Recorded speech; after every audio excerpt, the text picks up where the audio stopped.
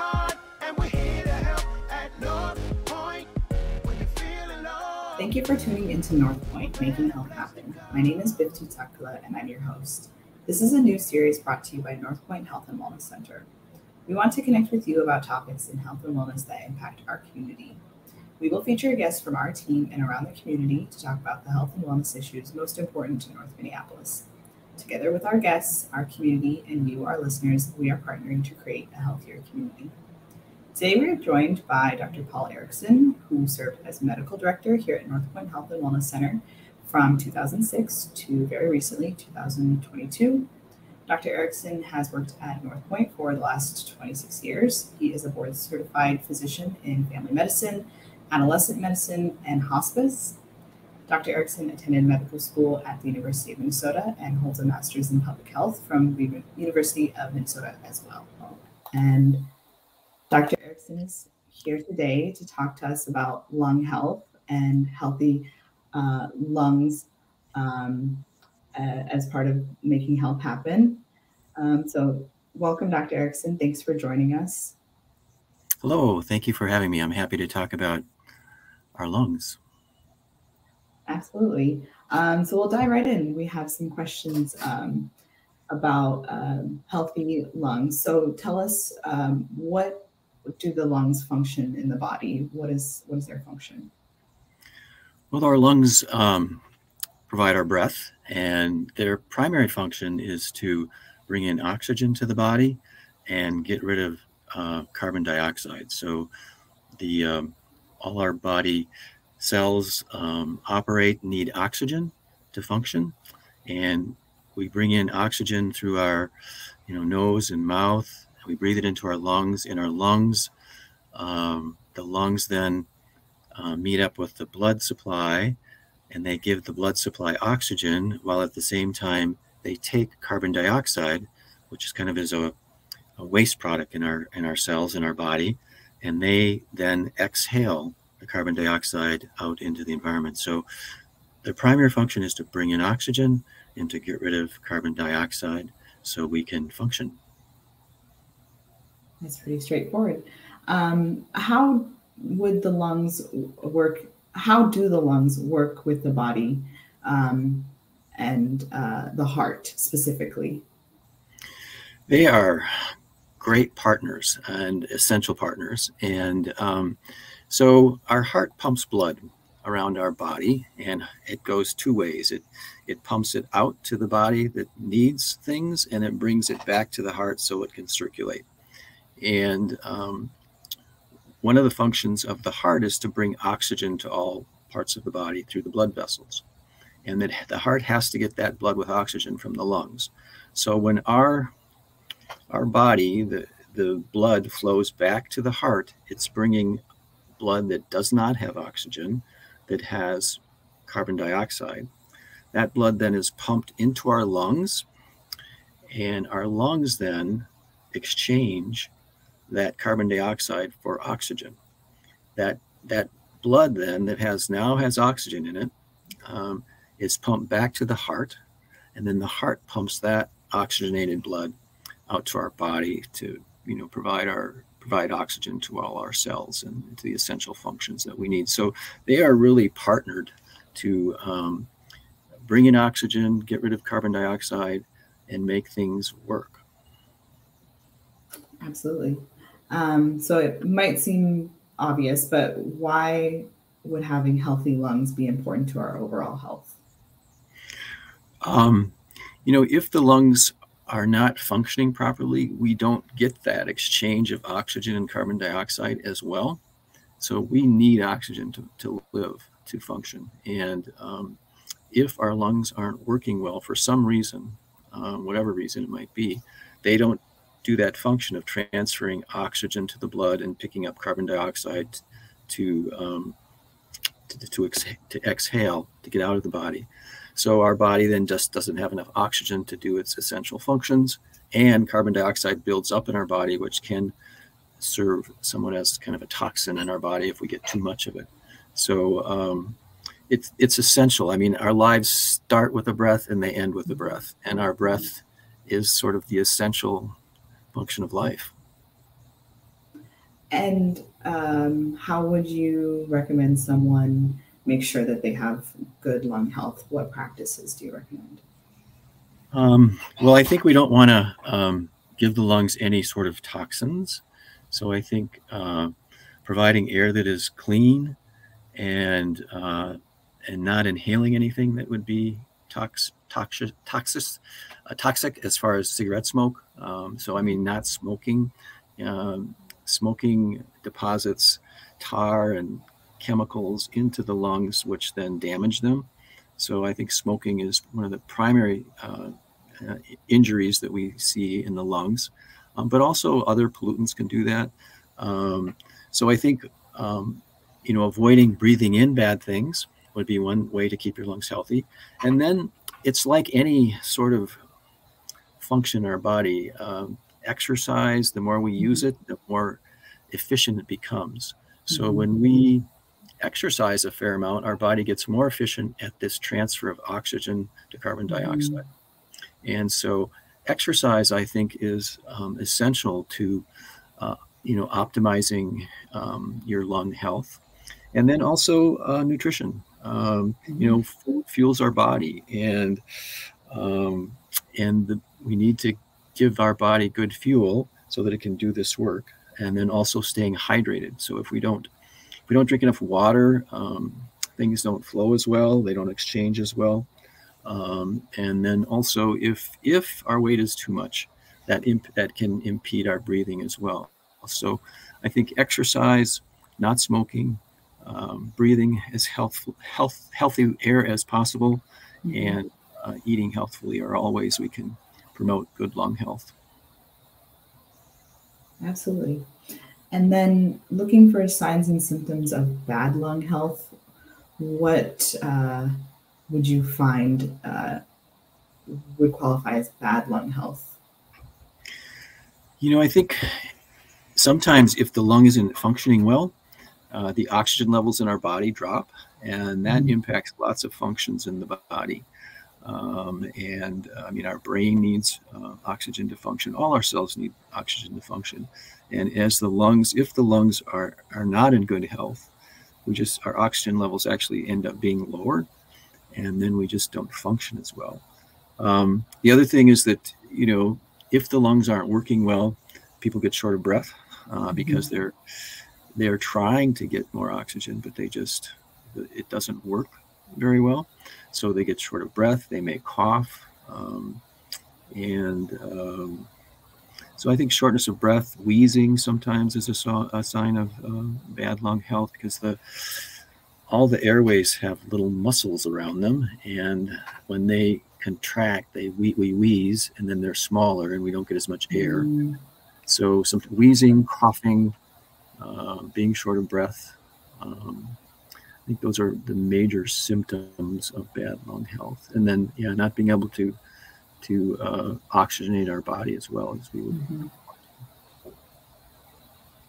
And um, you might have already alluded to um, how to sort of improve lung health, uh, make sure that our um, lungs are getting the best kind of um, treatment as possible. But as far as air quality goes, um, how can we improve our environments around us?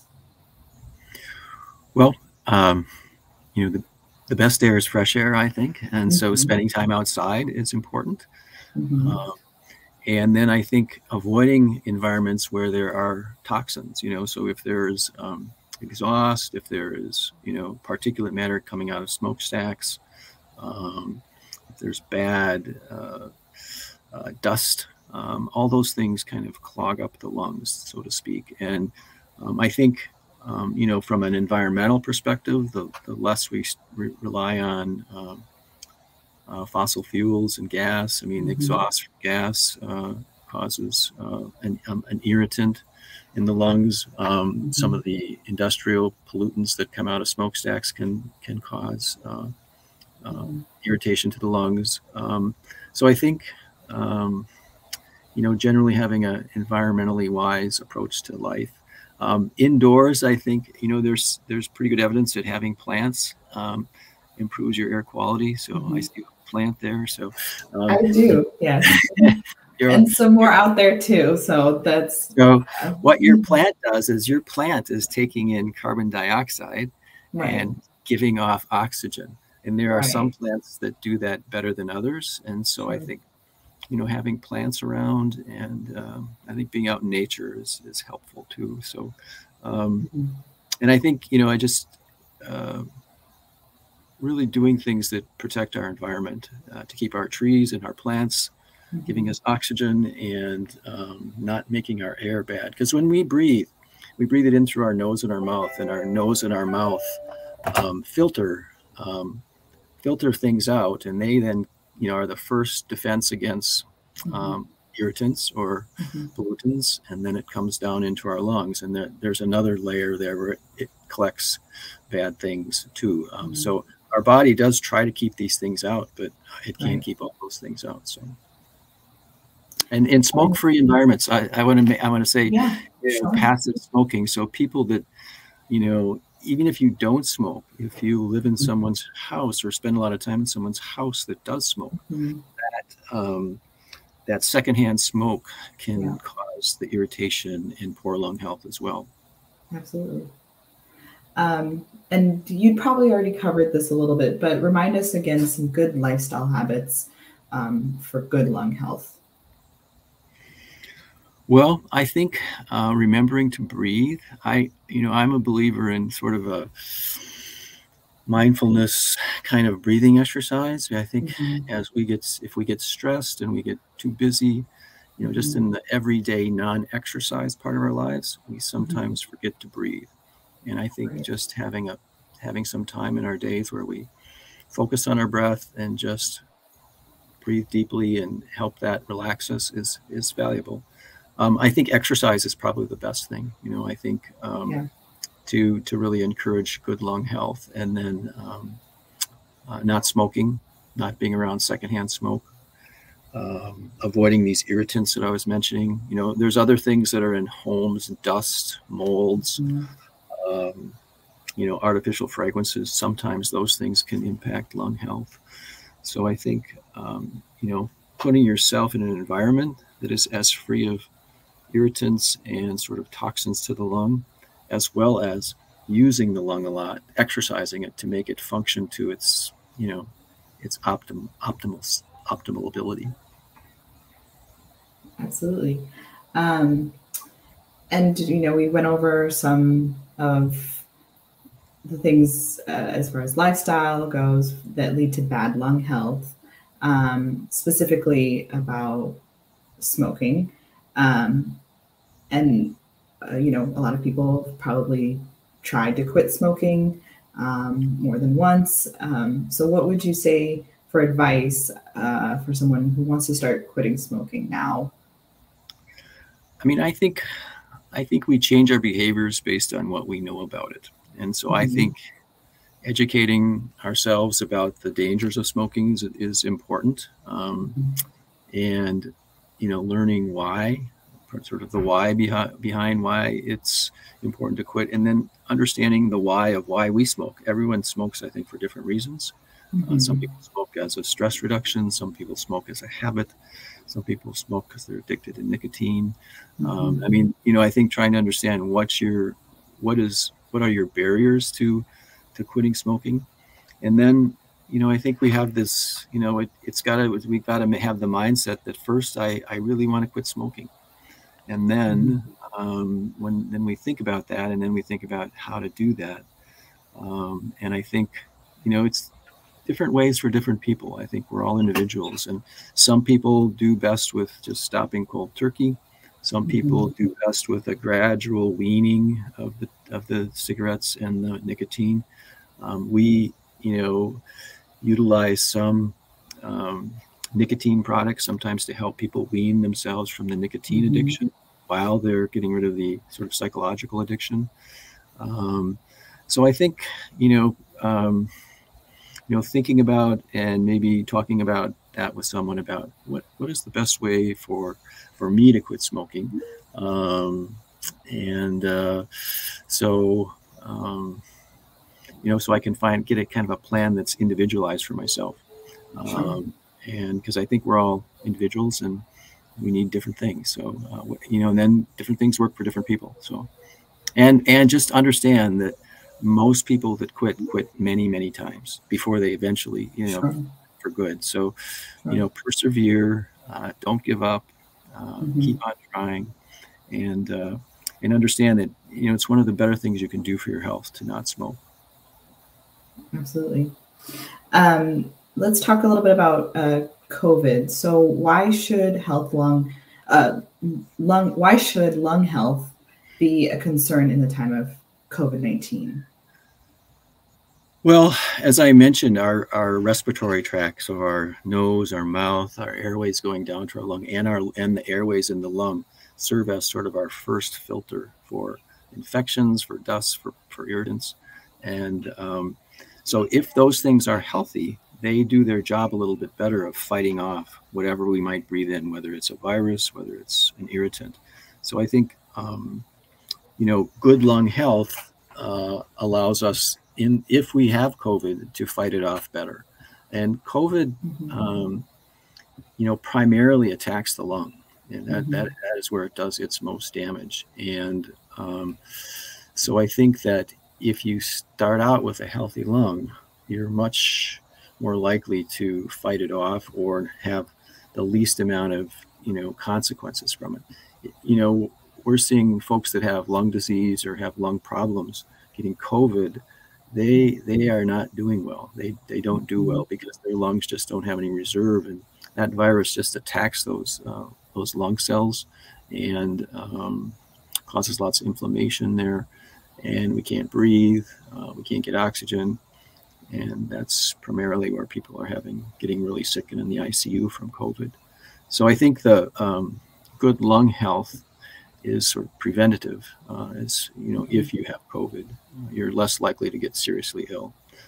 Right. Um, and then just before we wrap up, I want to talk about social determinants of health. Um, so, whether you're an ethnic minority or um, part of a marginalized identity, how would you say um, lung health affects, um, or how lung health uh, is determined by these social determinants of health? Mm-hmm. I mentioned some of the, there's some things in housing that makes a difference. So, dust, mm-hmm. mold, uh, various irritants in a building. And mm-hmm. so I think if so, if folks, um, you know, if they're in rental or have various kinds of living situations that are not optimal, they are mm-hmm. breathing in air that's not optimal. So that impacts their health. Um, I think also uh, typically um, when you look at communities with less resources, they've been more likely to be uh, in the neighborhood of uh, manufacturing plants or freeways or um, things in the environment that put more, you know, sort of toxins in the air. And um, and so I think that's that's an important thing. Um, there uh, there is a, a, a, problem, you know, uh, with something called radon that's in the soil that can get in people's basements. Um, mm-hmm and you know there's tests that you can do for those but those cost money and if you have limited resources you know you don't get those things done and and landlords are generally not very good about checking for those things um, so i think it, it, it has to do with um, you know the environments uh, that, that mm-hmm. folks live in that some of the social determinants determine um, you know if you have to you know if your, your transportation is based on some other forms of transportation rather than your own car. I think that can impact it. You can end up breathing in more stuff that's not so good. Um, and then food, you know, as I mentioned earlier, uh, nutrition plays an important mm-hmm. part our overall health and our lung health. So if mm-hmm. if we don't have access to fresh fruits and vegetables or you know those adequate amounts of foods, if there's any food insecurity, I think that ultimately impacts lung health as well. Absolutely. Thank you. Um, last but not least, um, let's talk about North Point and what services we have um, to improve lung health. Um, and if someone were to make an appointment and um, you know have a concern about their lungs, how would North Point be able to help them out? Well, in the medical department, you know, we approach that uh, with a sort of a, a medical eye um, and try to understand do they have healthy lungs or not? And we can evaluate that um, by talking to people and, examining them, listening to their lungs. Uh, we can mm-hmm. evaluate that by doing an x-ray of their lungs. We can evaluate that by doing some breathing tests to see what kind of you know capacity they may have. Um, and then, you know, for folks that their lung health is not optimal, uh, then we there are certainly some treatments to help with that for asthma, for chronic lung, chronic obstructive lung disease or emphysema. Um, mm-hmm. And we also have a smoking cessation program, which is critically important, I think. Uh, here in the clinic, there, um, where people are referred uh, to our clinical pharmacist, and um, they meet with them, they work with them, they provide either medications or nicotine replacement products if needed to help them smoke. Um, and uh, so I think smoking cessation and then the medical care that we can provide for um, for any kind of lung disorders that would would occur. Great, thank you. Well, that's all the questions I have. Um, so thank you uh, to Dr. Paul Erickson, Medical Director here at North Point Health and Wellness Center, um, for answering our questions about healthy lungs. Thank you. Thank you all. Take care. All right. Thanks, Biftu. Thanks, Dr. Erickson. Thank you for listening to North Point Making Health Happen. We want you to know that we are here to partner with you, that you can dream, and that you can reach your dream. Please subscribe to our YouTube channel to watch our show in video format. And if you like what you hear, share with a friend. To read more about North Point or find out more information about the COVID 19 vaccine, check us out on the web at northpointhealth.org.